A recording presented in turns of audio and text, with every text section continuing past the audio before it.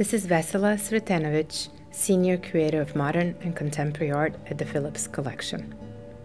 We're here to look at the work by Los Carpinteros, an internationally acclaimed Cuban artist collective best known for merging architecture, sculpture, design, and drawing.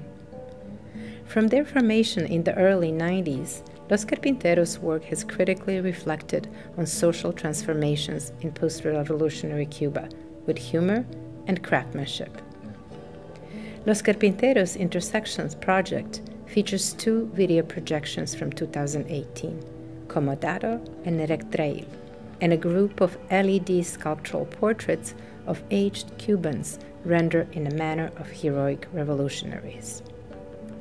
While Comodato presents images of Cuban domestic interiors, ranging from affluent to poor, disproving assumptions of Cuba as a classless society, Retráctil features a poet's speech in which he is forced to publicly denounce his criticism of the Cuban government.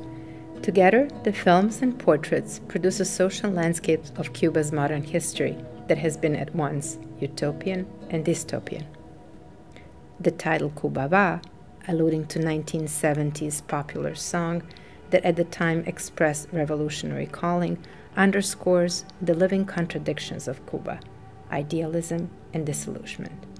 Mixing aesthetic execution with political underpinning, the subversive artworks of Las Carpinteros remain open ended.